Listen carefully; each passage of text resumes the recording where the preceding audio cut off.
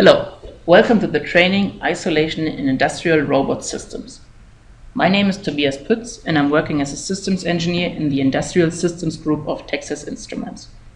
Today's training will cover the following agenda. First, we will talk about isolation basics and isolation technologies. Next section will be about different types of robots used today. The last section will be about isolation in industrial robot systems. Isolation basics and isolation technologies. What does isolation really mean? I don't want to go too much into detail, but in general, isolation means transporting data or as well power between two electric systems with different electric potential. The reason to isolate is to prevent DC or uncontrolled transient currents from flowing in between the two. Why is it needed? Isolation is needed to protect from or safely withstand high voltages that would damage equipment or harm humans. It's also needed to tolerate large ground potential differences and disruptive ground loops in circuits that have high energy or are separated by large distances. Last, isolation is needed to communicate reliably with high-side components in high-voltage motor drive systems, like we have them in industrial robots. Some more basics, isolation versus insulation. Often these two terms are mixed up, but isolation refers to the separation of systems with different voltage levels itself, while insulation refers to the material that is used and the thickness of the material. There are different levels of isolation functional, basic, supplementary, double, and reinforced. Functional isolation just refers to the general isolation between the two systems. Basic already protects against electric shock. Additional isolation added to the basic isolation results in double isolation. And reinforced isolation is a single system, but the rating is equal to double isolation. An example for a supplementary isolation would be the coating of a transformer. Isolation is covered in different standards and norms. There are one for optical and magnetic capacitors. There are different technologies for isolation. The three most common are optical, capacitive, and inductive. Optical isolation works as following. By applying a biased voltage across an LED, light is emitted and then detected across a barrier so the signal is decoupled from the current. Capacitive isolation uses the physical plate separation of the capacitor combined with, with a circuit that has different stages like an RC integrator, a comparator, and flip-flops to extract the signal information. Inductive isolation uses two coils which are placed next to each other. Then an AC voltage is applied across one coil and the verifying electric field creates a magnetic field, which in turn induces an electric field and therefore current in the secondary coil. All of the uh, technologies have different advantages and disadvantages. An advantage of the optical isolation is that it's immune to electric and magnetic fields, but the LED suffers from degradation over lifetime. Capacitive isolation can be made very space optimized. However, it needs additional circuitry, which is more complex compared to other isolation technologies. Last, inductive isolation can be made very efficient. However, it is susceptible to magnetic fields. TI uses capacitive isolation and achieves a superior performance with those. TI's reinforced isolators use a specific architecture with two capacitors in series. This results in a combined insulation of 27 micrometer. The material being used is silicon dioxide. It has a breakdown voltage of 500 to 800 volt per micrometer. The TI devices have a high voltage rating of 5.7 kV RMS and are rated for a working voltage of 1.5 kV RMS for over 40 years. Furthermore, they have a low current consumption and signal is transferred very quickly within a few nanoseconds. What kinds of robots are there? If we want to split robotics into different types of robots, first there are the industrial robots, shown on the left side. Industrial robots refers to multi-axis, SCARA, Cartesian, delta, collaborative, or control robots. The control cabinet is needed for every industrial robot. Normally it is located underneath the robot or is placed next to the robot somewhere in the system. Next, we do have logistics robots. Logistics robots can be as something like a shuttle, an AGV, or a shelf robot, which is picking things in a pharmacy, for example. Logistics robots are often operating within a warehouse they are used to carry objects around and need to have sensors for location and mapping as well for environmental sensing in case humans are around or as well to avoid bumping into any other objects. Last, we do have service robots, which can be things like a lawnmower, vacuum cleaner, or a pool cleaner. This training will focus on industrial robots, so those will be the ones on the left side.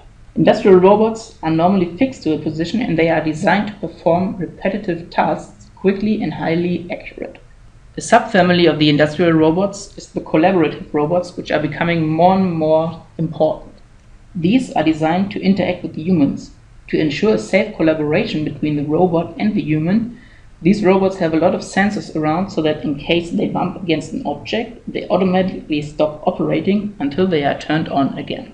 Isolation in industrial robot systems. Typical industrial robot system is shown on the upper right, but this picture just shows a typical robot in a factory with a robot arm. However, there are some things missing. The block diagram shows the main parts of an industrial robot system, however, very simplified.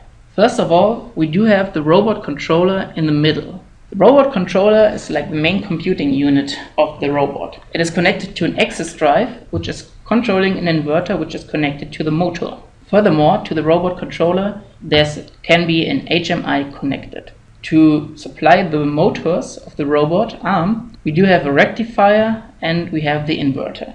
Last, the robot controller is connected to an upper control layer like a PLC. The way you can think of this is that you have complete manufacturing systems consisting not just out of the robot, but also taking into account other machines, like a CNC machine, for example. Then you will need an upper control layer which is taking care that the complete system is running. But where in the system do we need isolation? This is where we will talk about during the training now. If we take a closer look at an industrial robot and the systems that are inside, you can divide it into robot control, motor drive, and power section. Robot control would be the communication module, so something like Ethernet communication or also RS485. We do have the CPU board, which is like the main controlling unit, main computing unit. There are I.O. modules for analog and digital or other signals. We do have sensing modules. This can be the interface to a camera, for example. And we do have the HMI, which is also shown on the picture on the right, which enables the person to control the robot directly. For the motor drive, we also do have control module for the axis itself. We do have a power stage, for example the inverter, and we also have some position feedback. This can be an encoder or it can be a resolver. Last, for power, we do have the main power supply, so the industrial AC-DC, but also battery packs.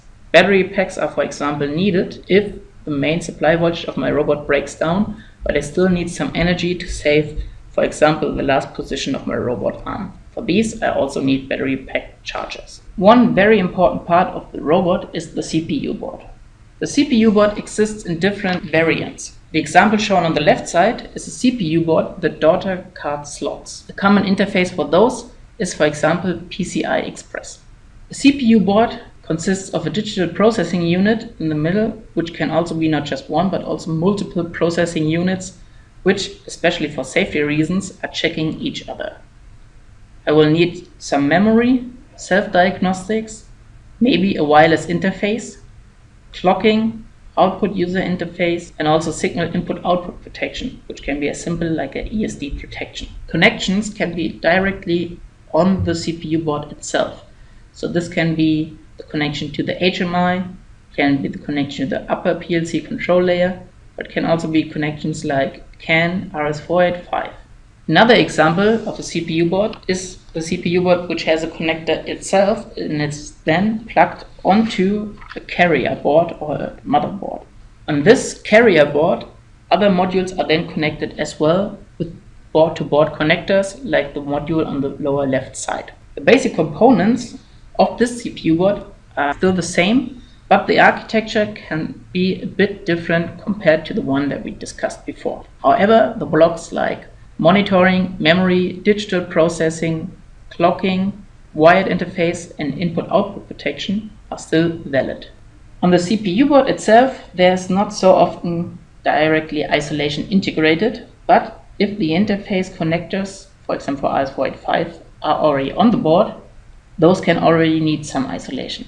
However, I want to cover this more in the communication module section. A communication module can be something like RS485, also RS422, CAN, or Ethernet.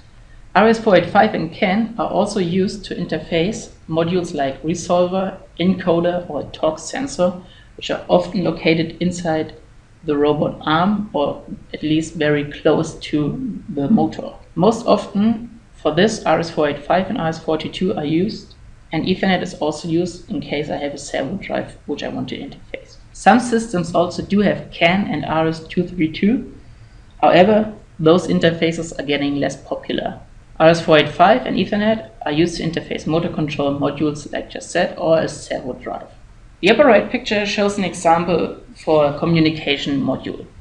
The basic blocks are listed below. I do have the board-to-board -board connector or as well the PCI interface. Then I do have a wired interface. In this case, as we talk isolation, this can be an isolated RS485 transceiver or also an isolated CAN transceiver. For Ethernet communication, I'm using an Ethernet PHY and then I do have magnetics later. So depending on my Ethernet magnetics, this will define my isolation rating. For the signal and input protection or output protection, I do have ESD diodes, and then I do have the connectors at the very last point. RS485 or as well RS422 is a very popular interface in industrial robot systems. This is especially because of the high immunity to noise. This is needed because of the switching of the IGBTs of FETs inside the robot arms which usually causes a lot of noise. Therefore, RS485 is often used to connect, for example, resolver or encoder, which are placed at the motors inside the robot arm. Other popular interfaces are, as said, RS232, CAN, and Ethernet. RS232 is not as robust as RS485. That is why it's not used as often. The same applies to CAN.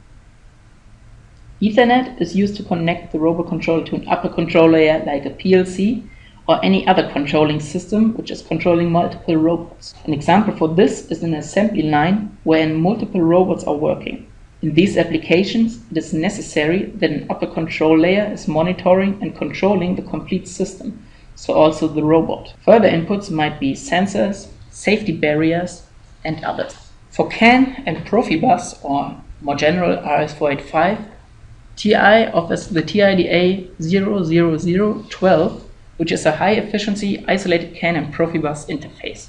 For Ethernet, TI offers as Ethernet PHY the DP83822 PHY, which is based on industrial Ethernet, and it can do copper or fiber optics interface. So what this design is showing, as you can see on the lower right, two implementations using the same PHY, but one's using a standard electrical cable and the other one using a fiber optic cable.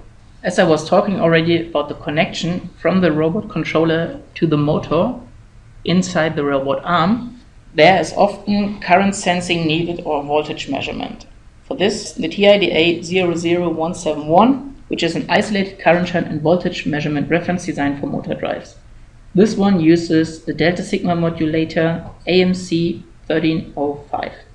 Last, for driving the IGBTs, there's the TIDA 195, which is showing an isolated IGBT gate driver evaluation platform for three-phase inverter systems. TI offers a huge variety of different parts for robot systems. More specifically to the interfaces, there are parts like the ISO 1176, which can be used for Profibus or RS485, which is also available in full duplex in different voltage versions. For CAN, there's the ISO 1050, which offers a high isolation rating of 5 kV RMS. As discussed for Ethernet, there's the DP83822, which can do 10 and 100 Mbit and is used for copper and fiber optics. If higher speeds are needed, there's the DP83867 available, which can go up to 1000 megabit. In some systems, there's also LVDS needed as a transceiver. This would be the interface to a camera module. For this, TI offers reinforced isolators with a high voltage rating of 5.7 kV RMS as explained at the beginning of this training. For evaluation or a faster design, TI offers the TIDA 00330, which is a reinforced isolated LVDS transceiver reference design. Every robot controller offers different I.O. modules. Typical I.O. interfaces are analog and digital, safe and non-safe, and isolated and non-isolated. So what does it mean? Analog or digital, or as well counting modules, which is a specific variant of a digital module, are modules that are used for evaluating different signals from sensors, motors, or as well to check or to turn on off other peripherals of the robotic system. As just said, they exist in safe and non-safe variants and can be isolated and non-isolated. Again, those are often realized as slot-in modules like the one shown on the picture. The following block diagram shows the typical parts or blocks of an analog I.O. module. Very importantly, if isolation is needed, and on this picture, the power can come either from the already isolated side or from the non-isolated side. If it's coming from the non-isolated side, so in this case from the right side, I do need an isolated DC-DC power supply. For signal isolation, I can use, if I have, for example, an SPI interface, standard 4.1 digital isolator. The main digital processing unit, which can be an MCU and MPU, is connected then to an ADC over the isolation barrier, which can sense multiple analog inputs. Those can be multiplexed and amplified before, if needed. For the analog outputs, the MCU is connected via SPI to a DAC, which can do voltage and current outputs, or if needed, there are also parts available which can do a voltage current transformation. If a high accuracy is needed, those systems may have a reference inside. Depending on the complexity, there are also further things like monitoring, clocking, or as well a user interface. For connecting to the main computing unit, I might need an ASIC or ARM or signal repeating in case I suffer from losses across the signal connection. For analog input modules, TI offers multiple designs. For example, the TIDA 550, which is a dual channel to channel isolated universal analog input module for PLC. This design can be used for sensing multiple inputs like voltage, current, or as well temperature in this case RTD or thermocouple, and the RTD in different configurations like 2-wire, 3-wire or 4-wire. Another input-output combination is the TIDA 170, which has four channels for current or voltage sensing and has a calibrated accuracy of 0.1%. The outputs are two channels for current or voltage. Another design showing a channel is the TIDA 01 333, which features TI's new ISOW 7841, which is an integrated transformer and SPI in a single chip. More details about this part will be shown later. Last, there's the multi-channel analog output module, which is just using a single DAC and a multiplexer to realize eight outputs. All of the just showed designs feature isolation and offer a quick start for design. Next, I want to talk about digital I.O. modules. The block diagram shown here is a typical digital input-output module. As for the analog I.O. module, I do have signal isolation and isolation, isolated DC-DC power supply in case I do need isolation. Especially inputs are often there in a huge amount. To be able to process all of these, I often use a serializer for the incoming signals so that I only have, for example, again an SPI communication across the data isolation. This reduces my part number count massively. The same applies for deserializing if I want to switch on or switch off other modules. For digital input, TI offers the TIDA 17, which features one of TI's isolator and a digital input serializer, the SN65HVS885. Furthermore, the design features 8-channel digital inputs and is tested to IEC 61000 for ESD, EFT, and surge. For digital outputs, there's the TIDA 00183, which is an 8-channel 24-volt high-side switch digital output. Block diagram of the design can be seen on the lower right side. For I.O. modules, and especially for isolating the power, TI offers different parts featuring different power topologies. First, there's the very easy to use push-pull topology where TI offers the SN6501 or SN6505. Push-pull is a very easy to use topology, however, it has the downside that it is not regulated. So whatever my input voltage is, this will get directly transferred to the secondary side. For different isolated power supplies, there's also a training available on the training portal of TI. Another easy to use topology is the Fly-Buck topology, featuring parts like the LM5017 or LM5160. Fly-Buck is also easy to use and also offers a primary side regulated output, so not just isolated but also non-isolated. Very well known is the flyback topology. A typical part for this would be the LM3481. Flyback has the advantage of it has low BOM count because it only needs one switch. However, it needs feedback from the secondary side. As mentioned before, TI also released the ISOW 7841, which is an integrated transformer plus SPI. This means two parts can be replaced by just one part. However, the output power of the ISOW 7841 is only up to half a watt. So this might be an option for analog input modules. For the front end, TI offers several high-performance digital to analog converters like the DAC 8775, DAC 8760.